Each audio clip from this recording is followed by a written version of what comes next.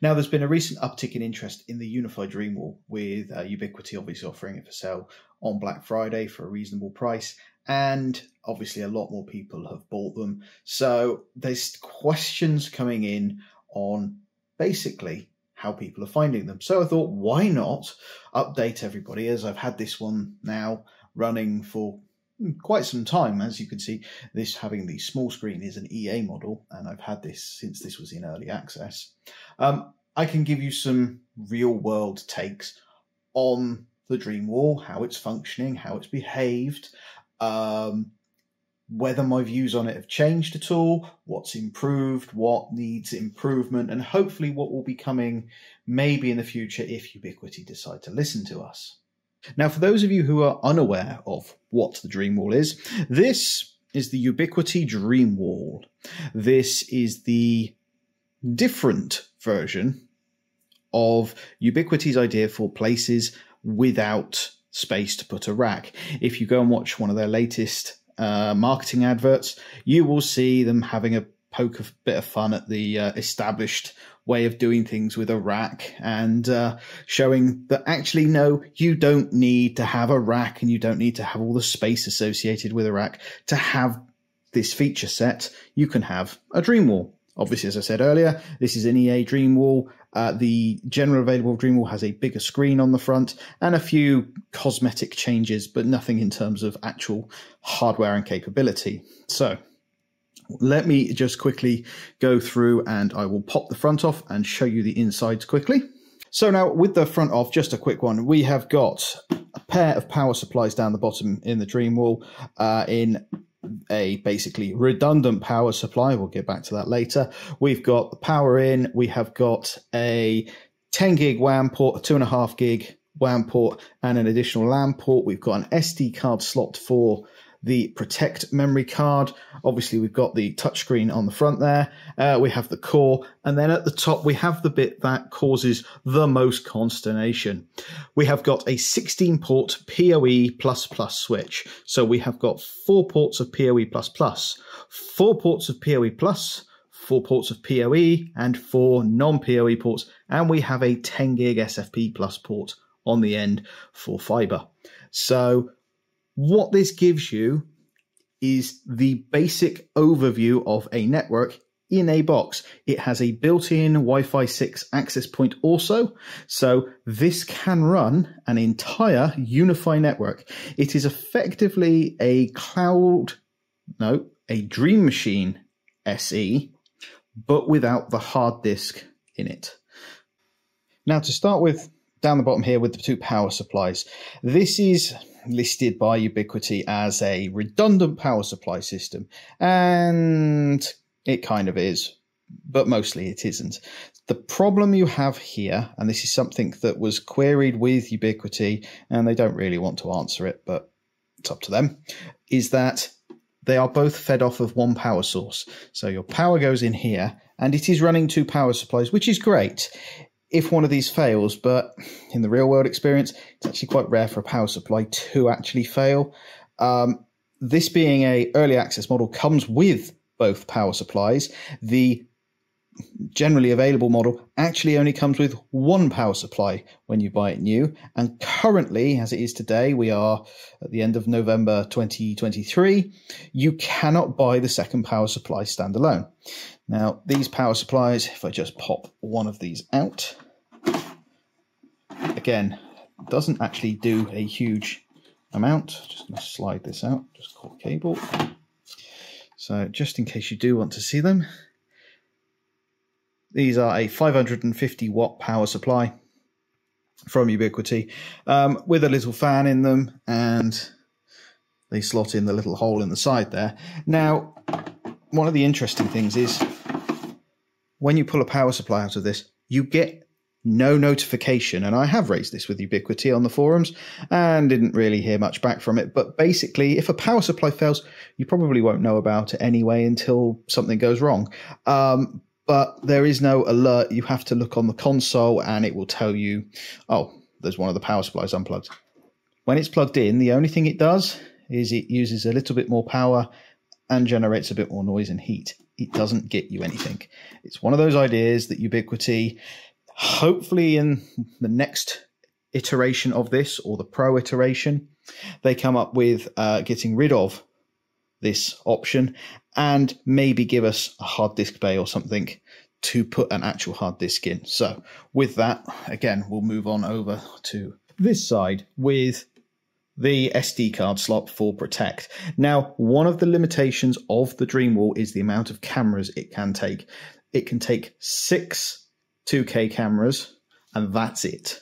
Um, cut that down to probably three 4K cameras and a few more on the old HD cameras. But you can, at the moment, the biggest SD cards you can get is a terabyte, and you're not going to be able to squeeze much in terms of camera footage on those if you're recording continuously. But uh, if you buy this from Ubiquiti now, you get a 512 gigabyte card. You can upgrade it to a terabyte card. But this was a bit of a letdown. There is enough space in this chassis to have included a two and a half inch bay slot somewhere and kept those. What we would have preferred is if we'd lost a power supply and gained a hard disk bay. So, Ubiquiti, if you're listening, when you build us out the uh, Dreamwall Pro, we want some hard disk bays, please. Or if you do a Dreamwall SE, hard disk bays, please. This is pointless. This is not needed because it comes in through one power supply. So if you lose power here, these do nothing. Just because it's enterprise to have dual power supplies, this isn't needed. Um, we've got obviously the core, as they call it here, which has got the access point behind it. And obviously uh, at the top, we've got the switch. The switch is nice to have. Now, one of the things that people were always querying on, and there's also a lot of complaints, so to speak, about this, is what do you do with these cables? Well, there's plenty of options to, to, to deal with cables like this. Um, one of the easiest options is actually you have it going into a brush panel behind. This is sat on the wall here because unfortunately I needed somewhere to put it at the time, and here is where it stayed. Um, with excuse the mess, but cables going up to there in a typical IT guy temporary permanent solution. Um, but the actual cable stays in the mess. Very little dirt gets in here. Very little problems with them. Cables just sit neatly, clipped in out the way. And yes, you can put a nice little panel behind there, or if you've got this in a cab, a cupboard or a cabinet somewhere, you can tuck it out the way. Um, it keeps it neat and tidy, but it also means that if you do have this front and center somewhere, it doesn't look messy if you have these just tidied up, even into a little bit of trunking or something just to hide them out the way. Um, for some strange reason, we do have a LAN port under here. I don't know if that was supposed to be for something later on, maybe. So it's actually a 17 port switch with an SF, well, it's an 18 port with the SFP port. Um, the WAN port's under here. On the generally available model, there's a panel behind there that you can pop out and run the power and everything out the back. But quite happy it comes out down the bottom on this. I don't have a problem with that. Doesn't really worry me. Um, people have asked maybe consider putting a panel in behind here. Someone did ask if you could drill that. Uh, I advise against it. I wouldn't recommend drilling through the back of that. But maybe in a later model we will have the option to have this is a removable unit maybe would be a suggestion but that's where it is at the moment. Let me just whiz the cover back on. Now with the cover on you'll see it doesn't actually look that bad. Um, the idea behind this is to be a device that is used instead of a rack. If I had to put a rack in here or I had to put a rack, say, up there, it would still be stuck out 500 mils from the wall. It would be using a lot of space. This is designed for an environment where space is a premium and it works. It does the job and it fits in for that use case really, really well.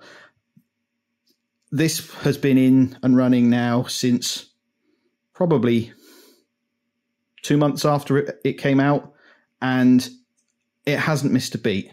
It has been running with me for doing testing. I've put all sorts of weird and wonderful things through this. This runs my entire home network and it has been pretty much faultless.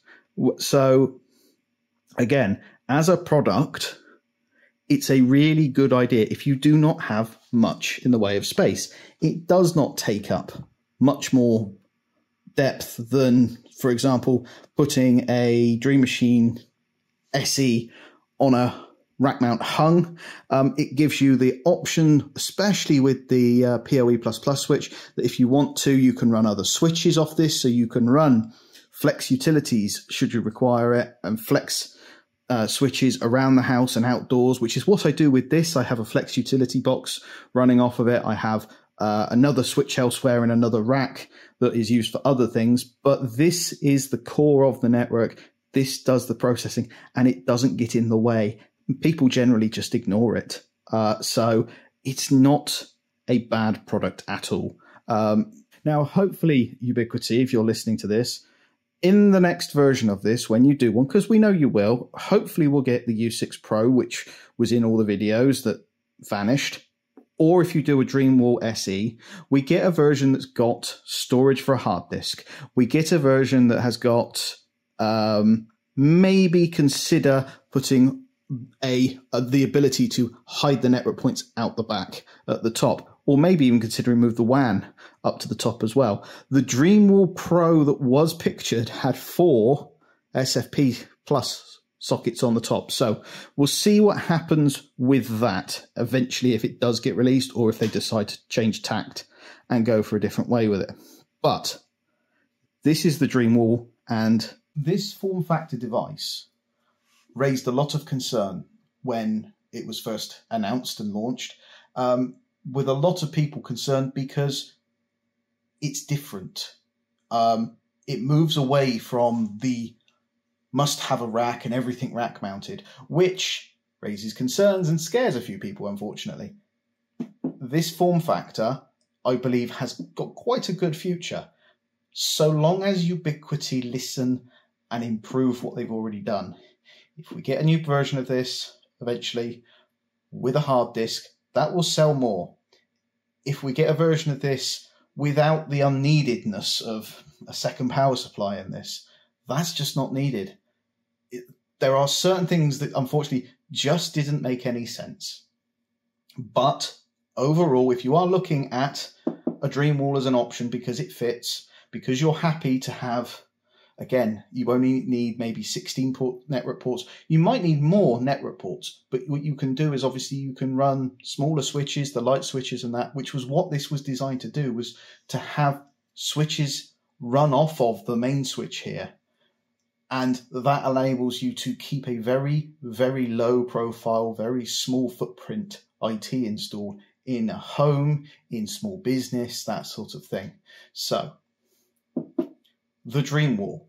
It's still a good product, even six months down the line. Um, hopefully, in six months' time, we may see a revision of it if we're lucky.